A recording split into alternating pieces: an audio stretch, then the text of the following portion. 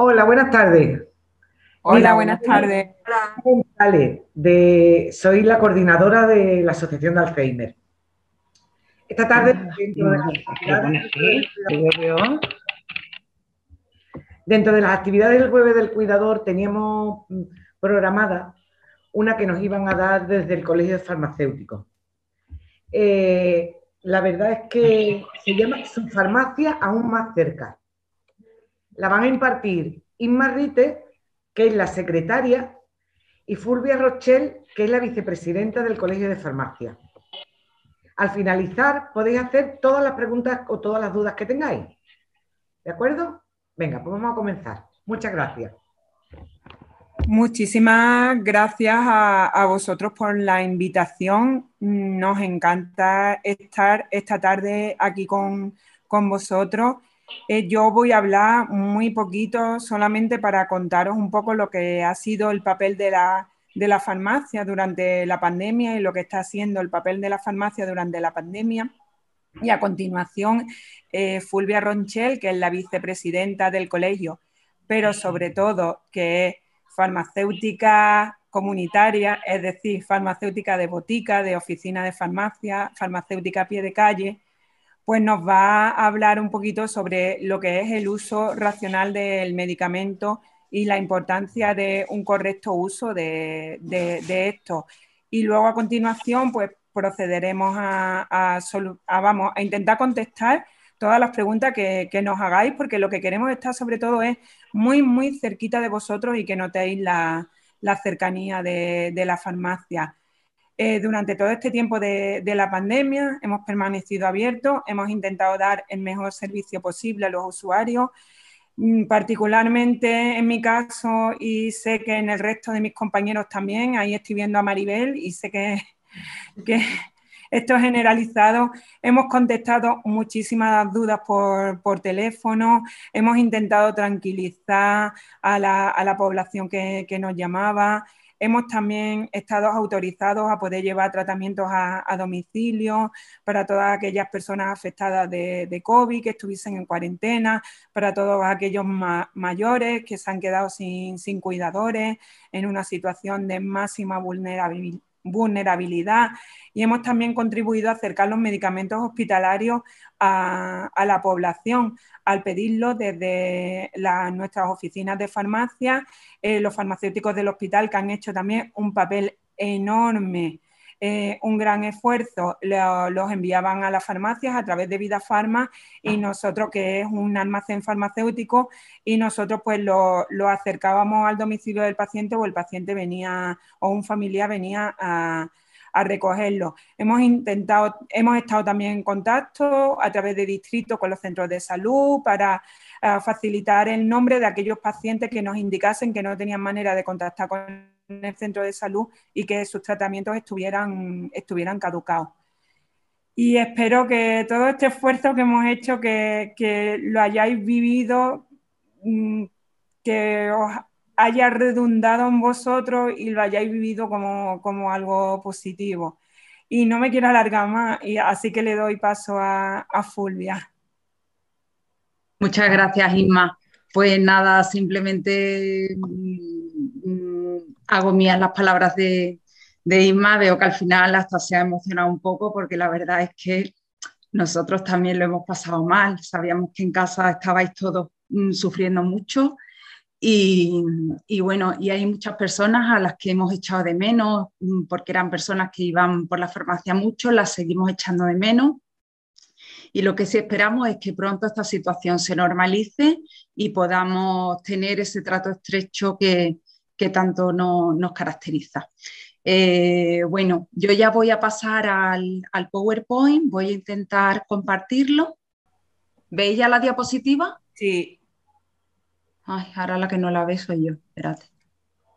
Ahora, ahora la veis, ¿verdad? Sí, sí. ahora sí. Vale, fenomenal.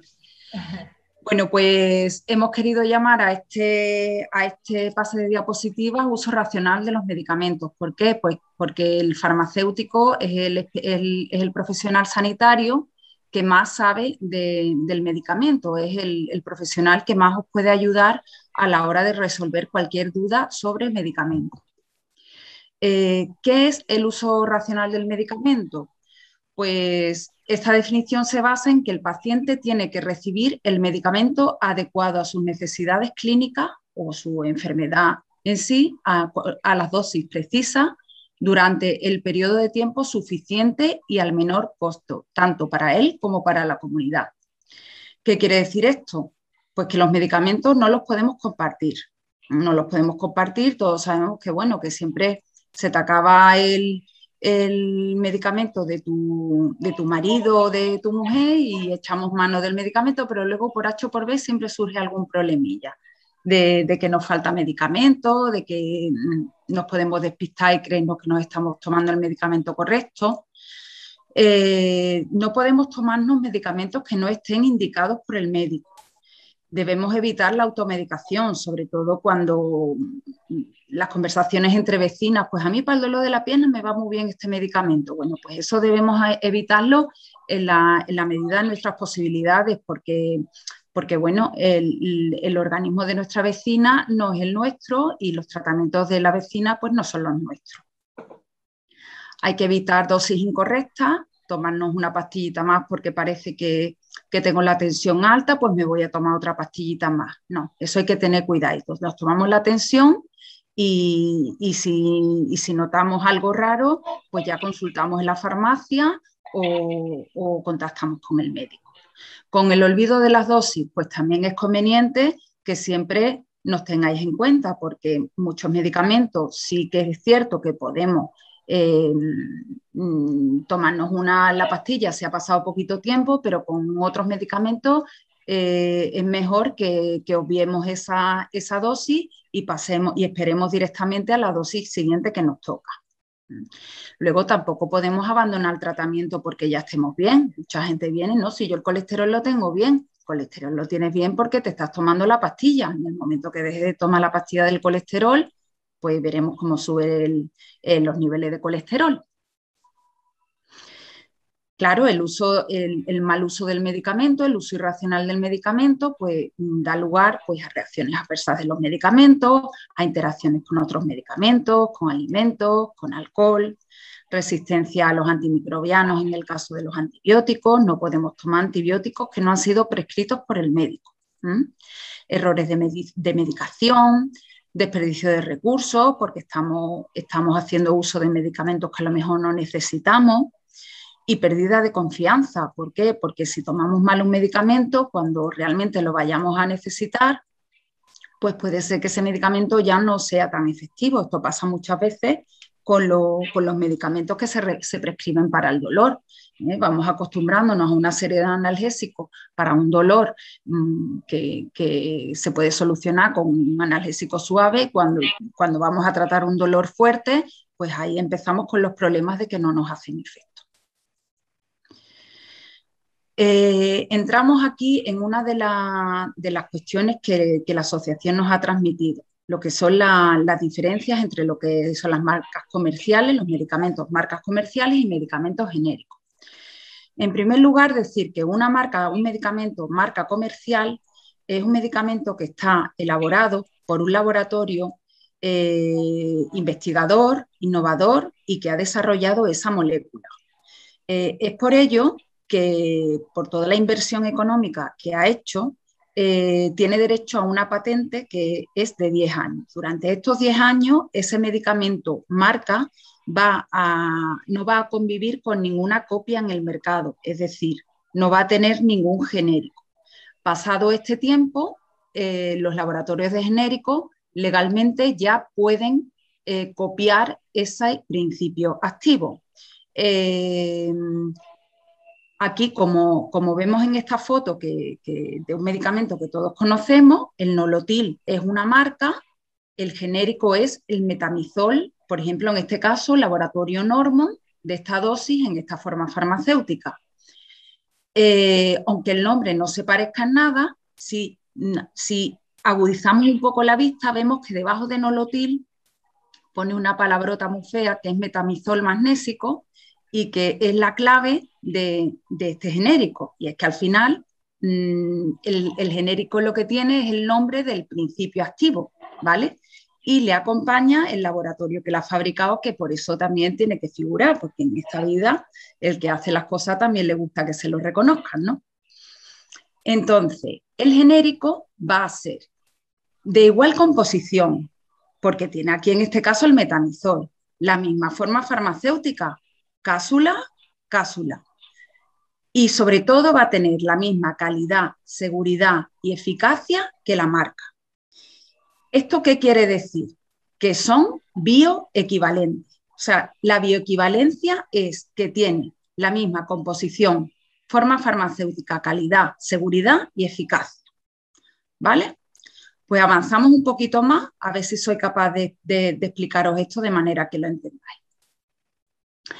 Un medicamento genérico es un medicamento que se fabrica de manera que sea idéntico a la marca. Idéntico a la marca. Eh, los medicamentos genéricos tienen la misma composición en cantidad y en principio activo.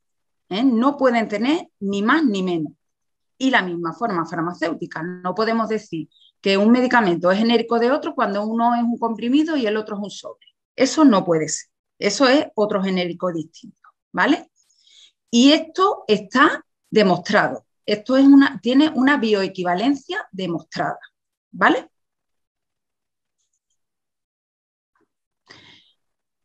¿Qué es la bioequivalencia que estamos hablando tanto? que el medicamento tiene la misma composición, la misma forma farmacéutica, el mismo efecto, igual que la marca. Pues los estudios de bioequivalencia son ensayos clínicos que se hacen en personas, en vivo, y que comparan la, biodisponibilidad tanto del genérico como de la marca. Y se hacen estos estudios para asegurarnos de que cuando salen al mercado van a hacer el mismo efecto, el mismo efecto en la persona. ¿Vale? No tiene que haber ninguna duda de que tanto la marca como el genérico hacen el mismo efecto, porque eso está estudiado, ¿vale? Por la bioequivalencia. Y la bioequivalencia lo que va a medir es la biodisponibilidad, que es la cantidad y la velocidad a la que el principio activo llega a la sangre, ¿vale? Es como, ¿cómo explicaros? Mm,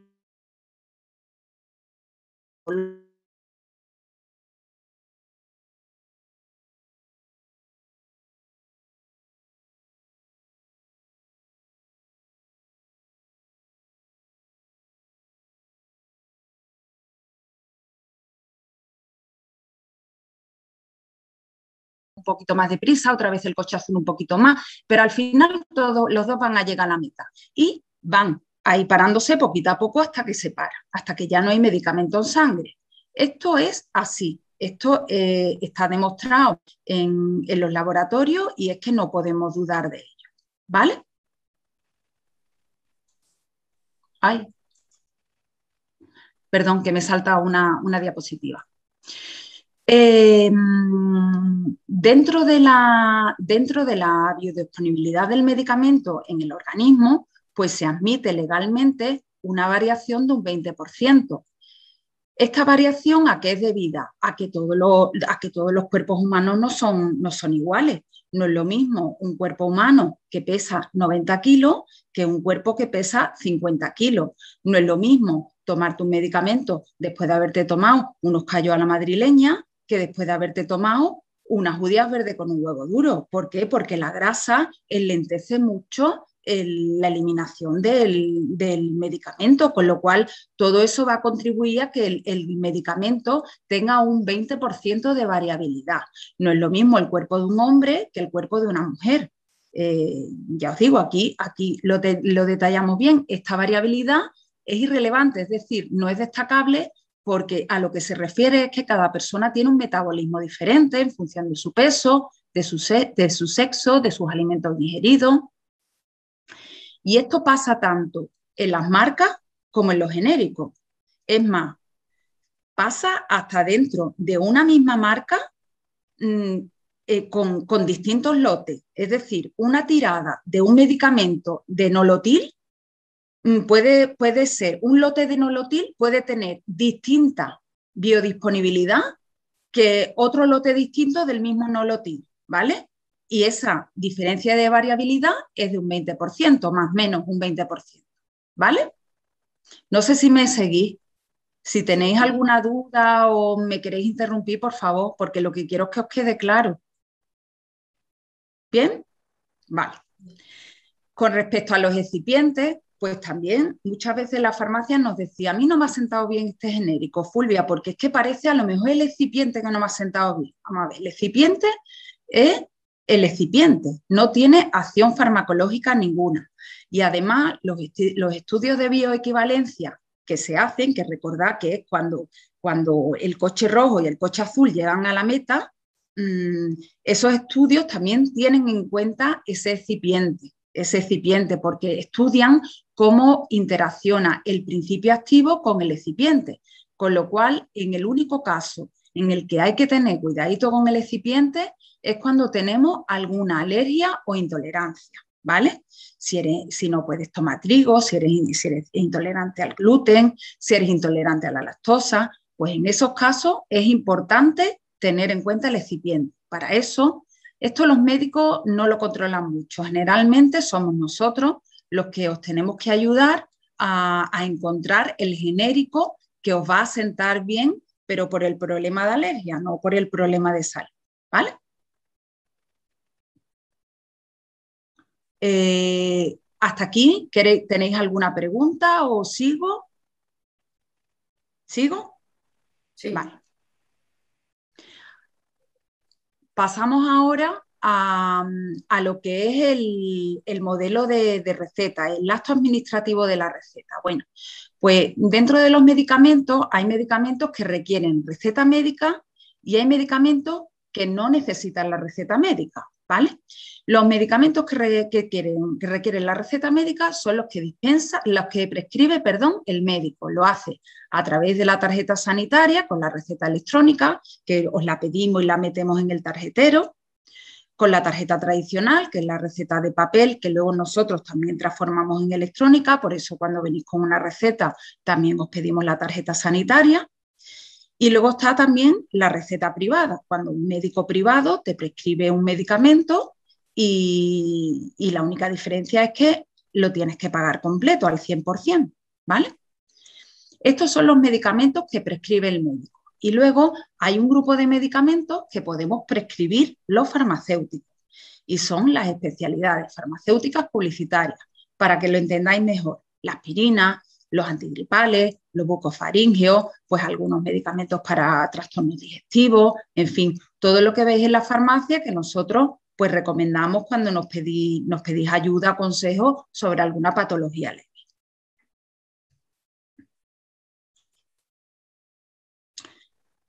También nos encontramos con medicamentos que necesitan receta, pero que no están financiados por la seguridad social. O sea, el hecho de que los, tenemos que, los tengamos que pagar al 100% no quiere decir que los podamos vender libremente.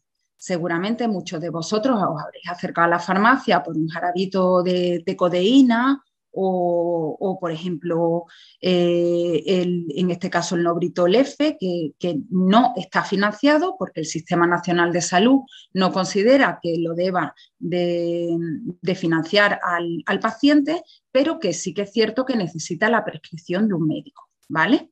Están los no financiados y los financiados que son la mayoría. Esta me la voy a saltar, que tampoco es la relevante. Así entonces, en, una caja de un medicamento, pues encontramos una serie de términos que nos van a ayudar tanto al, usuario como a la farmacia a identificar el medicamento que se nos pide o que queremos, o que queremos eh, conseguir.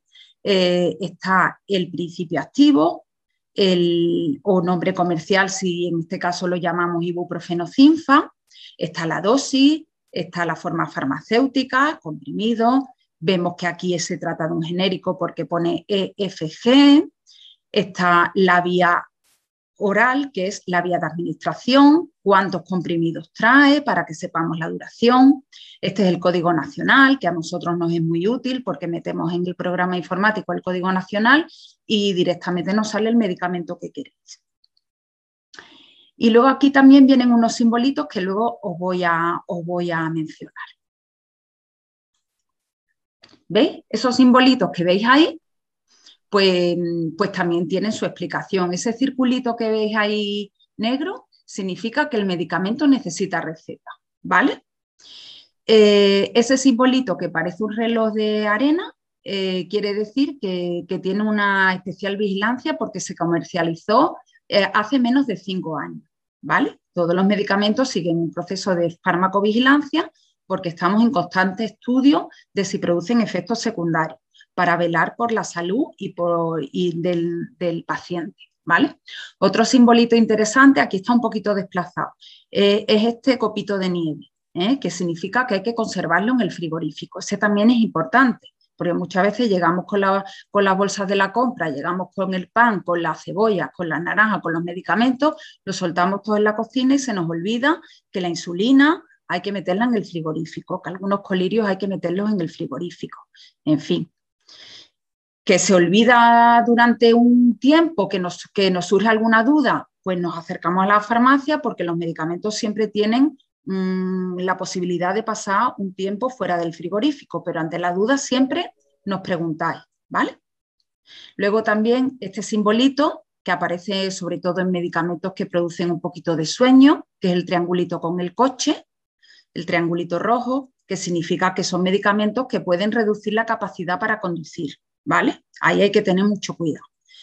Y, este triangulito rojo con la nube y el sol significa que el medicamento puede producir fotosensibilidad, es decir, que no debemos de tomar el sol o de exponernos al sol si nos hemos tomado el medicamento.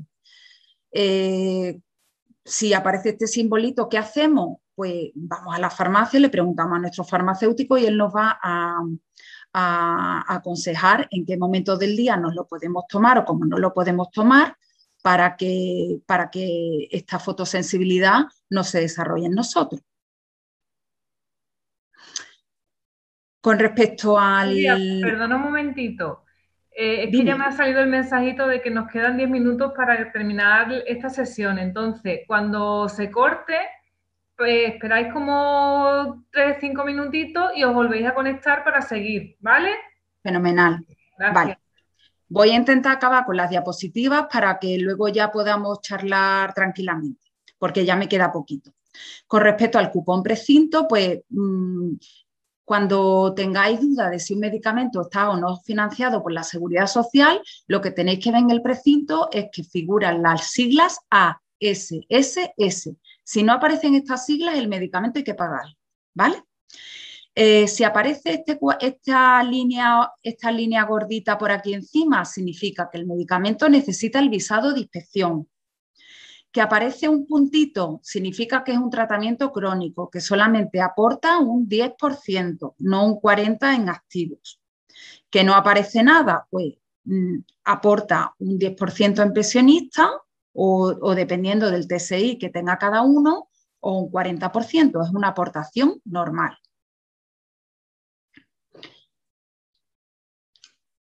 Otras letras que tenemos que tener en cuenta en, el cartonaje de un medicamento son el lote y la caducidad.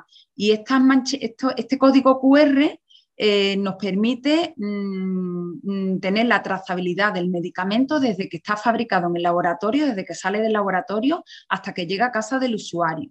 ¿Eh? Eh, esto a mí me parece increíble porque yo soy un poco tecnológica, pero, pero nos, mantiene informados de dónde está el medicamento en todo momento. Súper interesante cuando hay alguna retirada de algún lote porque se ha visto que ha habido algún fallo o algo y para localizar eh, quién tiene esa cajita. Y luego la caducidad, que la tenemos que tener en cuenta a la hora de, de tomarnos un medicamento que hace tiempo que no, que no cogemos.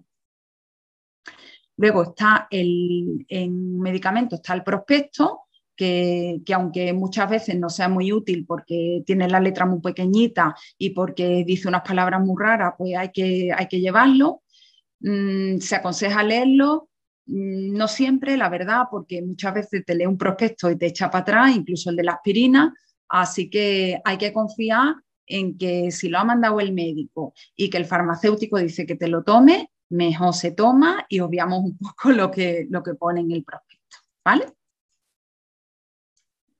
Así tenemos toda la información necesaria en nuestras manos para hacer un uso racional del medicamento. ¿Para qué? Para que nos tomemos el medicamento correcto a la, dosis correcta. Bien por el del medicamento prescrito por el médico o prescrito por el farmacéutico. ¿Cómo? Pues con la forma de administración correcta, con o sin alimento. ¿Cuándo? Pues en las pautas de la mañana, de la mediodía, de la noche, con las tomas al día que nos haya recomendado nuestro médico o nuestro farmacéutico y durante el tiempo que necesitemos, bien si es un tratamiento agudo para una patología aguda o bien si es un tratamiento crónico.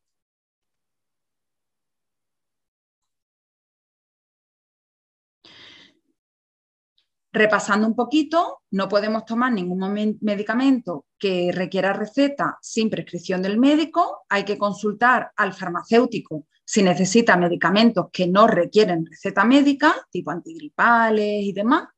Informar al médico o al farmacéutico de todos los medicamentos que toma o ha tomado, porque todos sabemos que cualquier suplemento, cualquier plantita medicinal puede interaccionar con un medicamento. Un caso muy característico es la vitamina K con el sintrón, con el anticoagulante.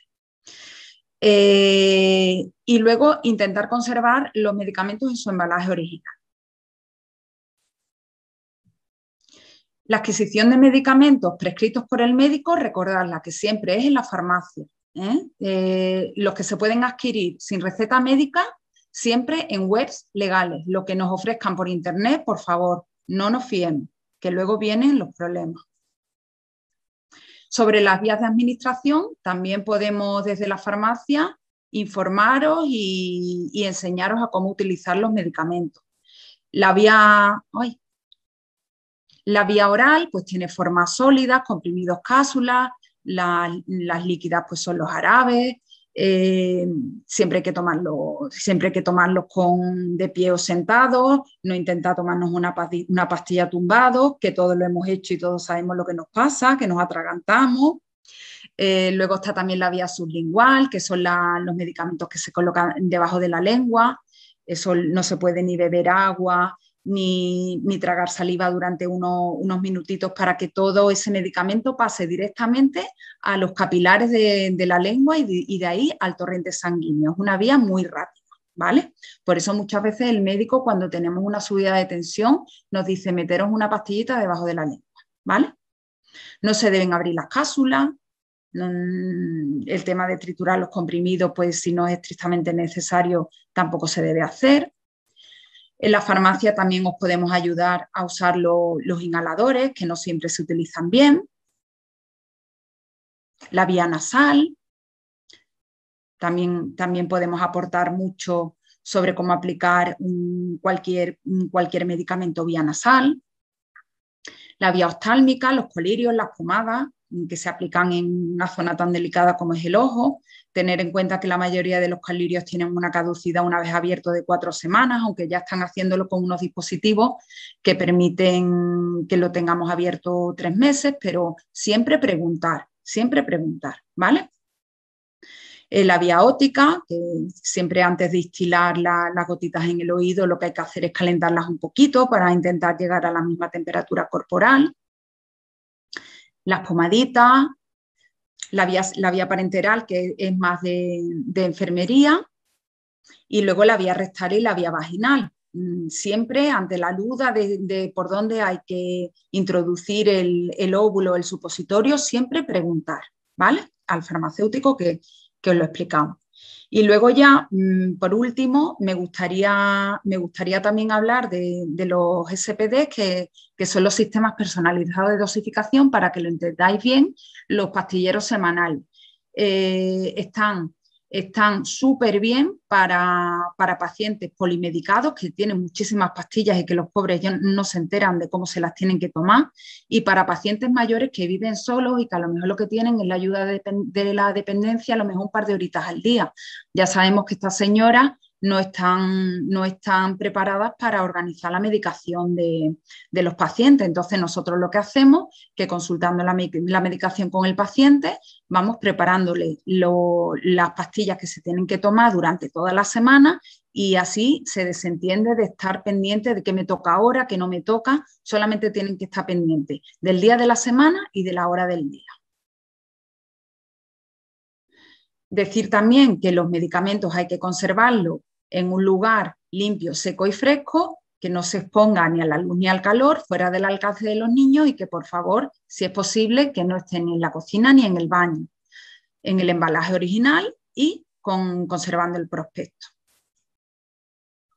Hay que revisar de vez en cuando el botiquín de casa y todo el medicamento que esté caducado o que ya no utilicemos, llevarlo a la farmacia y depositarlo en el punto SIGRE para contribuir al medio ambiente.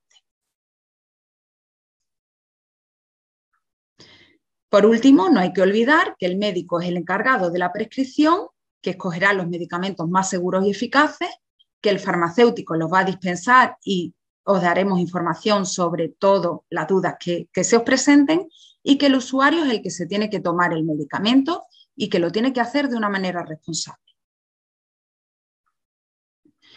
El medicamento es fuente de progreso y mejora de la expectativa y calidad de vida de los pacientes.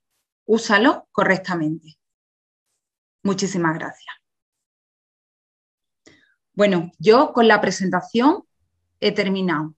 Si queréis empezar vosotros ya a dirigir Vamos a finalizar, ¿vale?